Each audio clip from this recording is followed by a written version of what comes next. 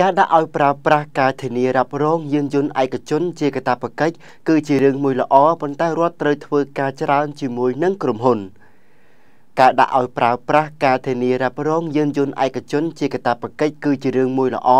យើងខ្ញុំហាក់មិនជំទាស់នឹងគោលបំណងនោះទេ ប៉ុន្តែទោះបីជាយ៉ាងណាក៏ដោយប្រសិនបើស្ថានភាពនិងការងាររបស់ក្រុមហ៊ុនធានារ៉ាប់រងបានធ្វើនៅពេលបច្ចុប្បន្ននេះយើងខ្ញុំគិតថាពលរដ្ឋប្រហែលជាមិនគ្រប់គ្រងឲ្យគោលបំណងនេះចេញបានឡើយដូច្នេះដើម្បីឲ្យគោលដៅនេះដំណើរការឲ្យរលូនរដ្ឋចាំបាច់ត្រូវតែធានាសុខភាព និងភាពប្រកបប្រជាជាមួយនឹងក្រុមហ៊ុនធានារ៉ាប់រងនានាឲ្យបានច្រើនជាងពេលបច្ចុប្បន្ននេះ ក្នុងគោលបំណងលើកកម្ពស់វិស័យធានារ៉ាប់រងឲ្យមានការរីកចម្រើនថែមទៀតនៅពេលខាងមុខនេះរាជរដ្ឋាភិបាលកម្ពុជាគ្រោងនឹងដាក់ឲ្យប្រើប្រាស់នៅការធានារ៉ាប់រងយានយន្តឯកជនជាកាតព្វកិច្ចដែលជាការទទួលខុសត្រូវរបស់ប្រតិបត្តិការធានារ៉ាប់រងនិងម្ចាស់យានយន្តចំពោះសង្គមជាតិហើយនេះជាប្រសាសន៍របស់លោករស់ស៊ីលវ៉ារដ្ឋលេខាធិការក្រសួងសេដ្ឋកិច្ចនិងហិរញ្ញវត្ថុនិងជាអនុប្រធានក្រុមប្រឹក្សាអាជ្ញាធរសេវាហិរញ្ញវត្ថុមិនមែនធនាគារ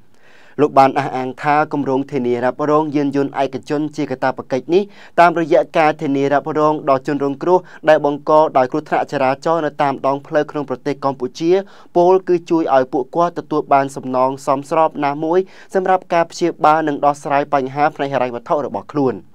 លោកបានឲ្យដឹងថាផលប្រយោជន៍ក្នុងដំណើរការប្រព័ន្ធធានារ៉ាប់រងខាងលើនេះនឹងដើរតួនាទីយ៉ាងសំខាន់ក្នុងការពង្រឹងនិងពង្រីកប្រព័ន្ធសំណាញ់សុវត្ថិភាពសង្គមឲ្យដើរទន្ទឹមគ្នានឹងការដាក់ឲ្យអនុវត្តប្រព័ន្ធគាំពារសង្គមរបស់រដ្ឋាភិបាលផងដែរ។ ជាការពិតការនិយាយនិងការកំណត់នៅក្នុងគោលនយោបាយគឺល្អបែបនោះប៉ុន្តែចំពោះការអនុវត្តវិញគឺរហូតមកដល់ពេលនេះអ្នកដែលប្រើប្រាស់សេវាកម្មធានារ៉ាប់រងលើយានយន្តឯកជននេះគឺភាគច្រើនរអ៊ូរទាំច្រើនជាហេតុនាំឲ្យសេវាកម្មធានារ៉ាប់រងត្រូវបានគ្រប់គ្រងដោយសាធារណជនទូលំទូលាយបាននៅឡើយទេ មកដល់ពេលនេះអ្នកដែលប្រើប្រាស់សេវាកម្មធានារ៉ាប់រងលើវិស័យយានយន្តនេះគឺមានកំណត់មែនប៉ុន្តែនោះគឺដោយសារតែមានការចាប់បង្ខំពីធនាគារឬស្ថាប័នហិរញ្ញវត្ថុទៅលើអតិថិជនដែលពួកគេប្រើប្រាស់អនុទានលើកម្ចីយានយន្តប៉ុន្តែជាទូទៅសាធារណជនដែលមិនជាប់កាតព្វកិច្ចនិងប្រើប្រាស់សេវាកម្មអនុទានមិនសូវមានអ្នកនិយមប្រើប្រាស់ប៉ុន្មានទេ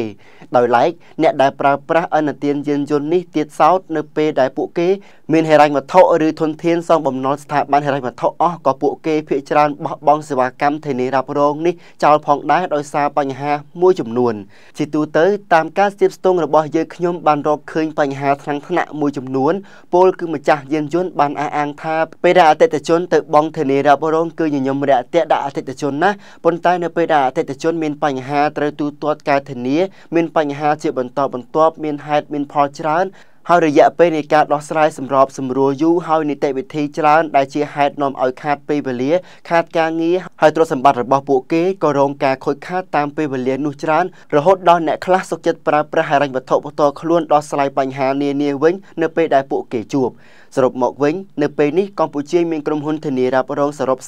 39 ក្នុងនោះក្រុមហ៊ុនធានារ៉ាប់រងទូទៅមានចំនួន18ក្រុមហ៊ុនធានារ៉ាប់រងអាយុជីវិតចំនួន14និងក្រុមហ៊ុនធានារ៉ាប់រងខ្នាតតូចចំនួន7ព្រមទាំងមានក្រុមហ៊ុនធានារ៉ាប់រងបន្តចំនួន1ហើយប្រសិនបើរដ្ឋមានគម្រោងដូចខាងលើសូមសិក្សានិងស្វែងរកបញ្ហានិងដោះស្រាយបញ្ហាថ្នាក់ថ្នាក់នៅក្នុងការអនុវត្តសេវាកម្មនេះជាមុនសិនបើមិនដូច្នេះទេគោលបំណងនេះទំនងជាពលរដ្ឋពិបាកនឹងទទួលណាស់ដោយខ្ញុំបាទច័ន្ទមនុษย์ RVA ខ្មែរសំឡេងនៃសេចក្តីពិត